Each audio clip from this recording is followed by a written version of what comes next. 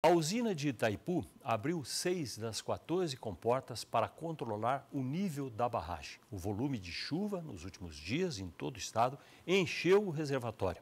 A abertura foi durante a madrugada dessa quarta-feira. O operador nacional do sistema autorizou a abertura de seis das 14 comportas, proporcionando uma das imagens mais incríveis da engenharia. Ao todo, nesse momento, passam pela calha 2 milhões e 400 mil litros de água por segundo, o equivalente a uma catarata e meia em condições normais. Neste momento ele está aproximadamente um metro abaixo do seu, da sua altura máxima, tá? Mas pela previsão de afluência, a previsão de água que vem chegando no nosso reservatório, nós conseguimos prever isso com 48 horas de antecedência, então tem um aumento de, de, desse volume de água que está chegando no reservatório, então já se fez necessário abrir o vertedor. Nesse momento, o nível do reservatório está a 219 metros acima do nível do mar. Está quase na capacidade máxima, que é de 220 metros.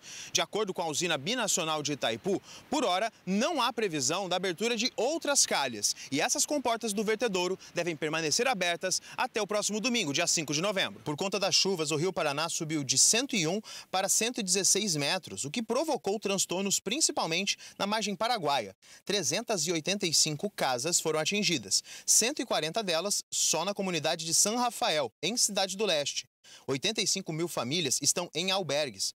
A usina garante que está monitorando a bacia do Paraná. Desde sábado, quando as chuvas previstas começaram a acontecer, e já elaborar estratégias para diminuir os impactos na sociedade que está abaixo de nossa barragem. Né?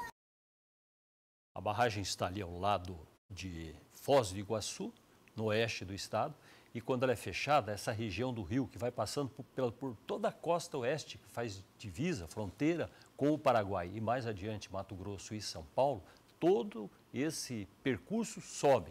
E chega o um momento que tem que soltar água mesmo que possa haver algum risco adiante depois da barragem.